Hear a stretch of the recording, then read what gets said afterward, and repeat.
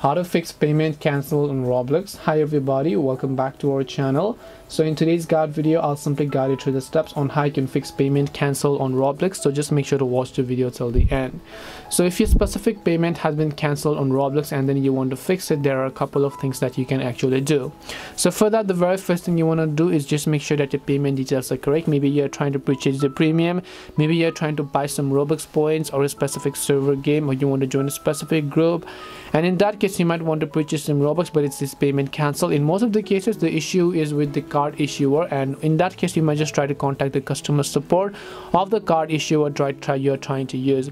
If you have an alternative card then you can also just try to use those cards and then see if that solves your problem or not. But this is not the problem with the roblox app. As i mentioned it to you again and again the problem is with the payment method that you're adding so hope this video helped to clear the confusion if it did help you then make sure to leave a like and subscribe to our channel if you have got any questions, queries or doubts then feel free to also leave them down in the comment section.